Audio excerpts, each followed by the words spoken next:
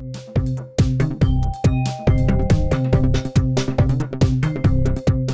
En sesión del Comité del Fideicomiso 2230 Banobras se aprobó continuar con el proyecto de construcción del edificio del Sistema Judicial Penal Acusatorio en la ciudad de Cancún, el edificio que había iniciado su construcción en el año 2015 y que sufrió una suspensión de obra por parte del comité en el año 2016 por ajustes al proyecto original. De acuerdo con información de la Fiscalía General de Quintana Roo, el seno del Comité del Fideicomiso 2230, cuyo administrador es el Banco Nacional de Obras y Servicios Públicos, aprobó que se continúe la construcción del inmueble con una inversión total de 50 millones de pesos provenientes de dicho fideicomiso. El edificio deberá estar concluido en el mes de noviembre de este año, aseguró personal de Sintra, quienes están a cargo de esta construcción.